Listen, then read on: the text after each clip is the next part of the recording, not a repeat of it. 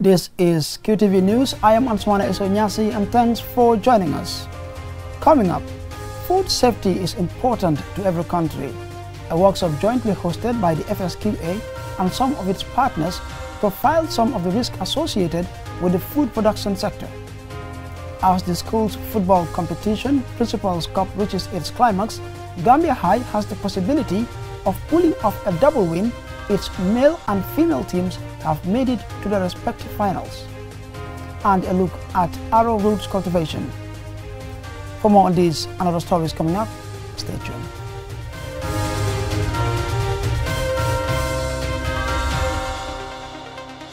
Gambia's Food Safety and Quality Authority, in partnership with the Food and Agricultural Organization, funded by the European Union, has set out to profile and rank the risk associated with livestock production and agriculture, among other matters. Mamjara Sise tells us more. Agriculture as an important aspect in every developing country, and uh, the sector offers opportunities for comprehensive growth, providing there are comprehensive food safety policies which can aid poverty reduction.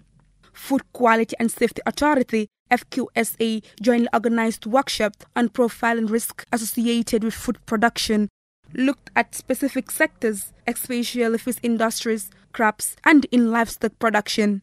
The workshop hopes to develop comprehensive data and background information about the potential risk to crops such as groundnut, which can be affected by aflatoxins, and which eventually stop the Gambia from exporting groundnuts to many countries. Another example of a food hazard is salmonella, which is found in poultry eggs and is hazardous to the health of an individual when consumed.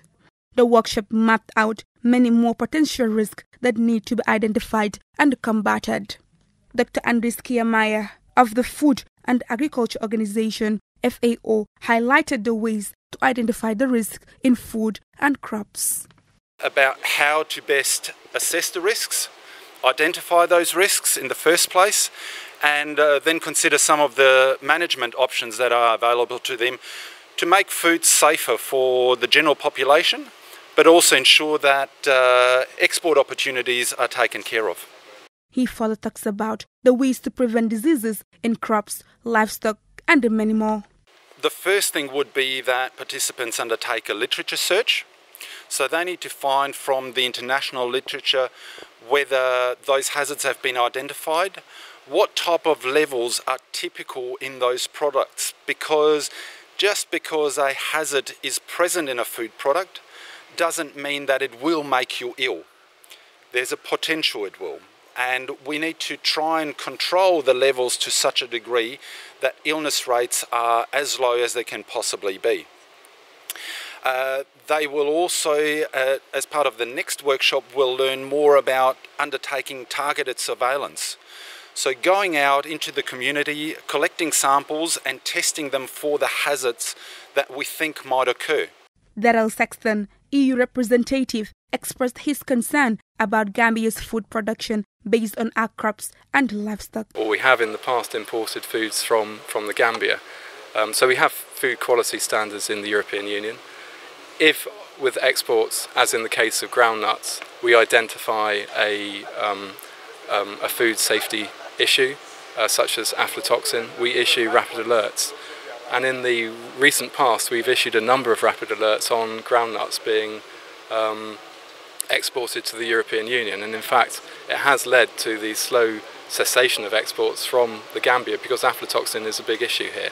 Abdullah Jallo, a participant and a scientist in food safety, spoke of the effectiveness of the training and how useful it will be to him and to his organization.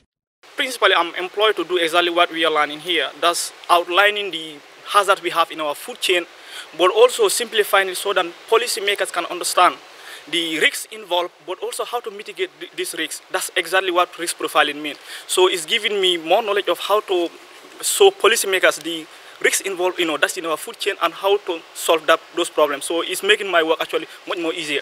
The Food and Safety and Quality Authority in the Gambia was established by an Act Parliament in 2011 to promote the safe consumption of food and to prevent crops and livestock that are under the attack from pests and diseases which can affect productivity and quality. Reporting for QTV News, I am Mamjara Sise. Arrowroots are one of the local tubers in the Gambia.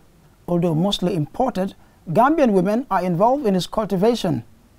They go through hard labor with primitive means of cultivation to get the tuber in our markets. Mahmoud Lamin Choi visited the farmers to have first-hand information of what it takes to get arrowroot to the Gambian market.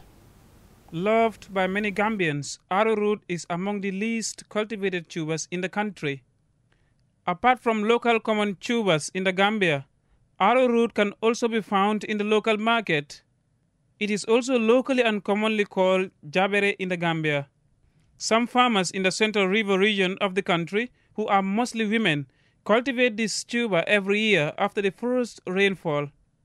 However, most arrowroot consumers are likely to lack the know-how about its cultivation process in the Gambia. Cultivating arrowroot is certainly a source of income for these farmers. Despite the hard labor involved in its cultivation, these women wouldn't give up on harvesting it to regularly supply the local market. Halima has been cultivating arrowroot for a decade in her struggle to feed her family. Although she is aging, she joins young women in the laborious practice of arrowroot cultivation. Cultivating arrowroot is a laborious work to do. As you can see, my hands and my entire body are paining me. The work involves only manpower. We bend our backs a lot in doing this farming, and when I go to bed, I always feel dizzy. Primitive in their farming practices, they trek or mount donkey carts to fetch plant leaves for mulching. By spreading leaves on the already cultivated land, they are able to conserve the soil's moisture content, control weeds, and improve the quality of the tuber.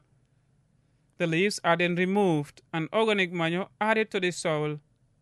Climate change is affecting farmers in this part of the region, but mulching through the use of dry leaves is a wise practice to these farmers. It is only when we use these dry leaves for mulching that we can have a good harvest. We once tried to cultivate arrowroot without the leaves, but we ended up having a low harvest. Arrowroot is harvested at the end of groundnut season and these women produce bags of it, thereby getting money for food and shelter for themselves. Mahmoud Lamin Choi for QTV News. Meanwhile, First Lady Fatoumata Barrow on Friday presided over the handing over ceremony of more than 150 beds and hospital equipment to the Edward Francis Small Teaching Hospital in Banjul. QTV's Malik Nyang reports.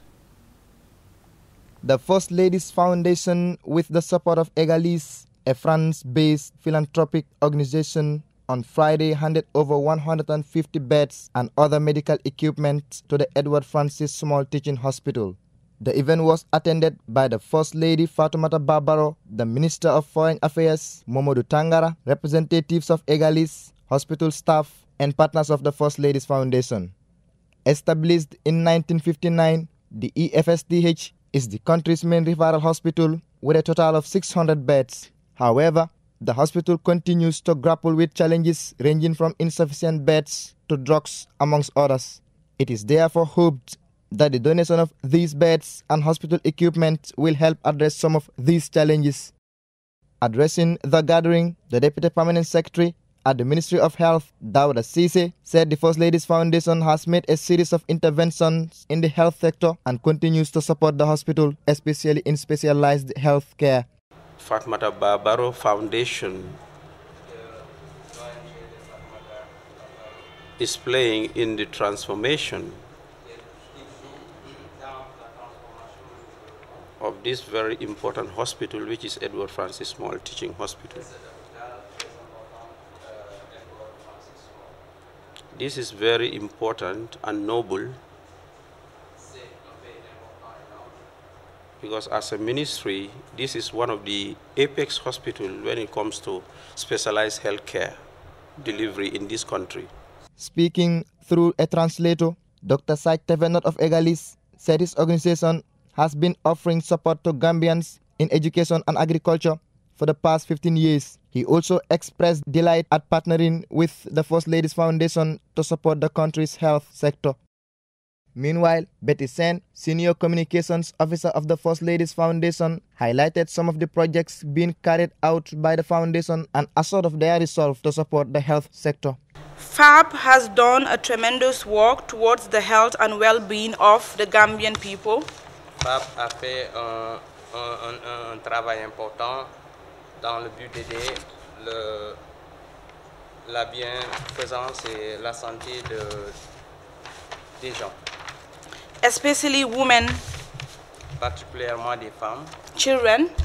Les enfants. And the underprivileged. Et les gens sont, qui ne sont pas privilégiés. I would also take the time. Je saisis l'occasion to thank Association Église from France. Euh, de remercier et de féliciter l'association d'Église euh, de France. For this noble gesture. Pour ce, euh, cet honorable geste. Which will highly contribute to our health sector needs. Other speakers, including the Ministry of Foreign Affairs, Dr. Mamadou Tangara, the Chief Nursing Officer at EFSTH, Horaja Sen, highlighted the importance of the impact the donation will have in addressing the hospital's challenges. At the end of the event, the First Lady took Egalis officials on a tour of the hospital to give them first-hand information and to observe the sections of the hospital that need the most urgent attention. Reporting for QTV News, I am Malik Nyang. The Nova Scotia Gambia Association held a graduation ceremony for trainees who completed a two-week summer school training on promotion of health and education. The program trained 100 peer health educators from various schools to develop their knowledge on health and education. Malik Nyang attended the program and he now reports.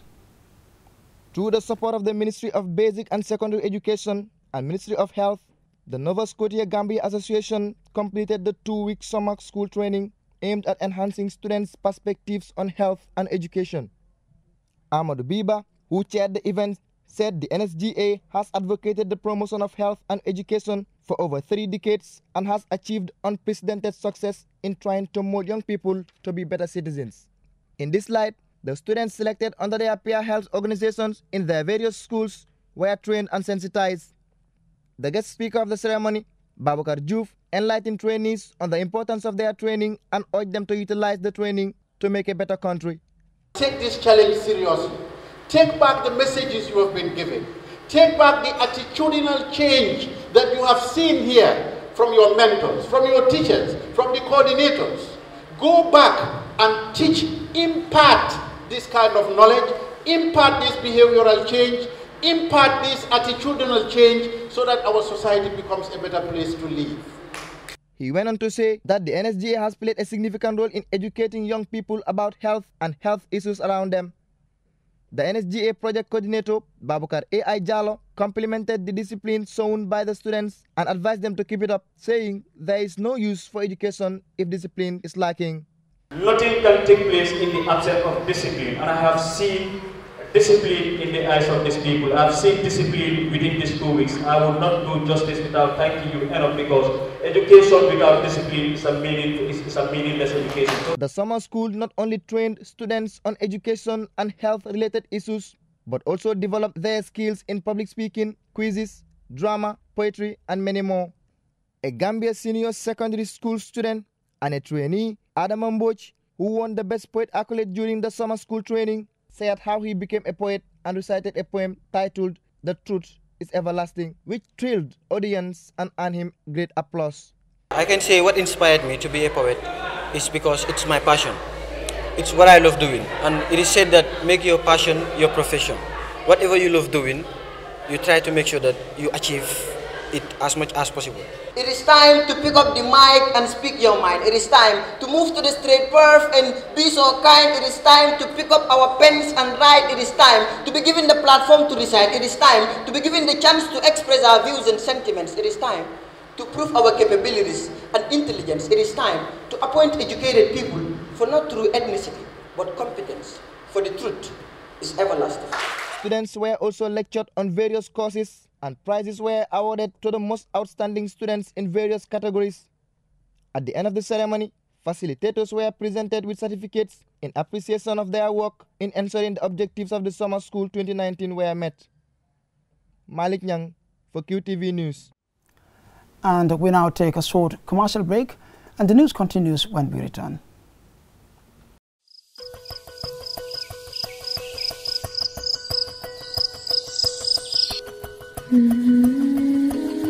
Light. From the beginning of time, light has been there. It is integral to our survival and to our way of living. We need light to work, To build, to grow things, and even to see our loved ones. light makes things easier and better. So QCell has changed the way you buy Q Power to make it easier and more accessible. You can now access the same service quickly and get your cash power tokens instantly with the new QCell Q Power code. To light up your world, simply dial star 363 hash. With the touch of your fingers, With ease and convenience from the comfort of your home or office, you can bring light into your world instantly with star 363 hash. Q Power, lighting your world. QCell Sunyabus. We innovate, others follow. Welcome back. And if you're just joining us, this is QTV News. Gambian pilgrims visit and offer prayers at Mount Uhud. This is the place where Hamza, the Lion of Allah, and other Muslims died during the Battle of Uhud. QTV's Babakar Sise is in Medina and he now reports. Uhud is a mountain north of Medina and is 1,077 meters high. The Battle of Uhud was fought in 625 CE between Muslims and non believers. It occurred between a force from the Muslim community of Medina, led by the Holy Prophet Muhammad, peace be upon him, and a force led by Abu Sufyan from Mecca. At the battlefield, whilst heavily outnumbered, the Muslims gained the upper hand and forced the enemy lines back. When the battle looked to be only one step far from a decisive Muslim victory, a serious mistake was committed by a part of the Muslim army which shifted the outcome of the battle. A breach of Muhammad's order by the Muslim archers who left their assigned post to loot the enemy camp allowed a surprise attack from the Meccan cavalry led by a war veteran, Khalid ibn Walid. Many Muslims were killed, including Hamza, the Prophet's uncle and foster brother. Muhammad, the messenger of Allah, got injured. The Muslims had to withdraw up the slopes of Uhud, and Khalid ibn Walid's men marched back to Mecca, declaring victory. The dead from the Muslim camp are buried here, and every year pilgrims from all over the world come here to offer prayers to them. May their souls rest in Jannah. Babakar Sise, QTV News, Madinatul Munawara. The 2019 school football competition known as the Principals Cup is about to reach its climax at the Independence Stadium in Bakau, with finals in both boys and girls categories set for Sunday, 4th August. Gambia Senior Secondary School have the distinction of being able to contest both categories, locking horns with Bottrop in the female category and with Nasir in the male category. Babakar Sise has the roundup of the semifinals played on Friday. 16 schools began the competition with the hope of reaching the finals to at least go home with something. At the end of the day, three schools have come out on top and will entertain the crowds on Sunday in what are expected to be a scintillating encounter in both finals. Gambia High facing opponents in both finals. In Friday's simultaneous semis, played at 3 p.m. in the female category. The two strongest sides, Bottrop Senior Secondary School and defending champions Gambia Senior Secondary School, made it through with comfortable scorelines. At the main ball of the stadium, Bottrop proved too strong for St. Michael, putting five goals past them in a one-sided game that many predicted even before kickoff. At the other ground of the stadium, Gambia High also had it easy against Mahat Senior, scoring three goals past them to set a date with arch rivals for tomorrow's final. Bottrop is coached by Fakeba Sen, who promises a shock for Gambia High come Sunday's final. Uh, the preparation was so much hard on us at the initial stage. Sometimes it's difficult to have all players on board, but thank God after the division, we managed to have all these players on board and we train and we prepare very well for this competition. And this is the best year I feel we have for this year Principals Cup. In the other semi-final in the male category played at 5 p.m., Gambia High again made it through to the finals after narrowly edging past Kabafita 5-3 on penalties After a nail-biting and goalless 90 minutes, Gambia High are the only school in this year's championship to have both male and female sides playing in the finals. In the other semi-final, Nasir, for the first time in history of the Principal's Cup, will march into the finals after overcoming Mindau by a goal to nil. Fode Mane is the young coach guiding Nasir and shared his joy with us on getting to the final. Since day one, we prepared well. We played against Kabafita, we played against Armitage, we played against Tahir, and we played against uh, Mingdao today, the semi-final. And I think all our preparations are the same. We do best of all that we can do. Go in for free ups because we know we cannot train because it's a physical training, it's a physical tournament. Because you play today, tomorrow you play. Uh, I think it's only tomorrow that we can even have free day to train.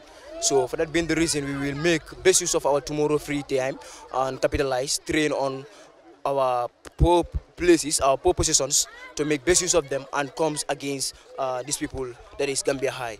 Gambia High coach Sekou Sane was disappointed at not winning inside the 90 minutes, but nevertheless promised a better performance in the finals. It was a big surprise for me winning on penalties because that was not our ambition, you know.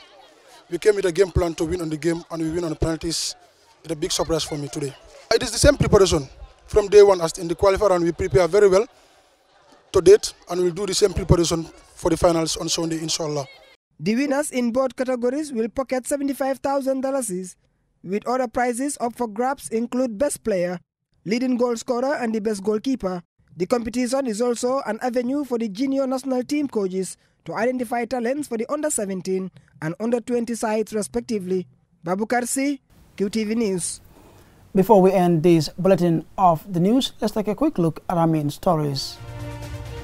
Gambia's Food Safety and Quality Authority, in partnership with the Food and Agricultural Organization, funded by the European Union, has set out to profile and rank the risk associated with livestock production and agriculture, among other matters. First Lady Fatoumata Barrow on Friday presided over the handing over ceremony of more than 150 beds and hospital equipment to the Edward Francis Small Teaching Hospital in Banjul. And Gambian pilgrims visit and offer prayers at Mount Uhud.